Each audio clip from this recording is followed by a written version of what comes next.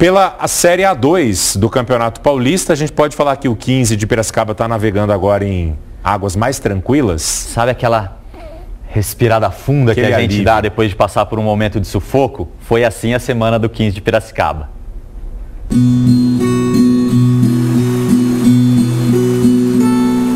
Ah, Piracicaba. Uma cidade tranquila, em vista de outras aí. Uma cidade boa de morar, né? E nem é preciso fazer turismo para encontrar os seus sintomas de calmaria. Ó, É, passa pássaros. É bem clima de interior mesmo aqui, né? interior, gostoso, né? Tranquilidade.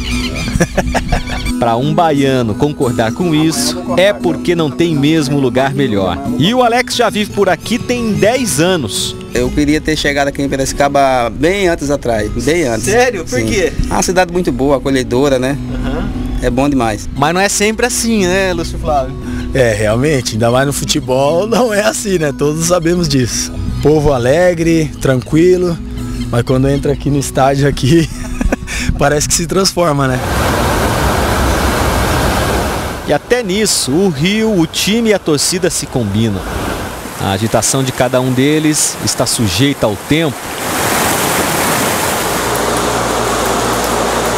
Ultimamente, a gente está em momentos bem complicados. A tempestade durou quase um mês para o 15. De 18 de janeiro a 15 de fevereiro, o time de Piracicaba colecionou chuvas e trovoadas. Foram nove jogos sem vencer.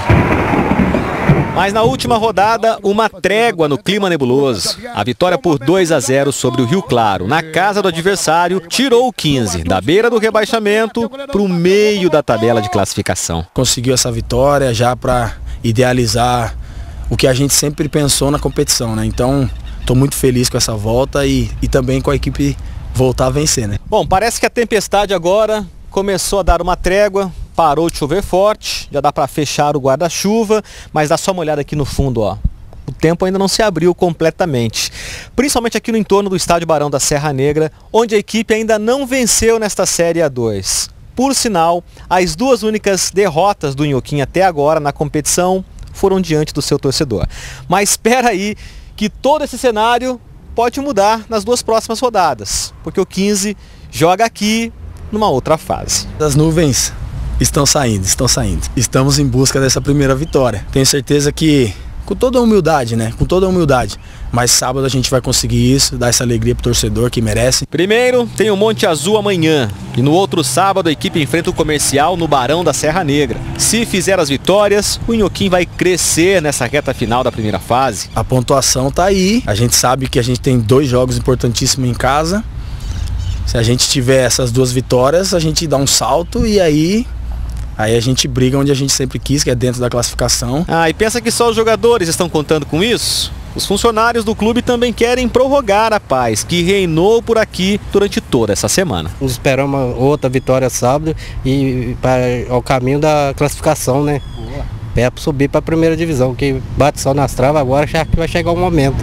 com certeza, aí sim. Além de buscar uma classificação, quem sabe o Lúcio Flávio, que diz ser um pescador de mão cheia, consiga conhecer outras características aqui da cidade. Ele nunca foi à beira do rio para praticar o esporte. Pois é, você vai lá, imagina eu lá pescando lá, do jeito que tava.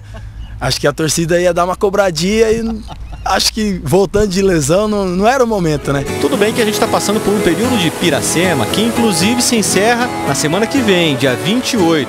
No dia 1 o 15 tem jogo e emplacando as duas vitórias, ele vai estar liberado para também curtir essa outra calmaria da cidade. Daqui a pouco, quem sabe? Tenho certeza que vai ter uma oportunidade.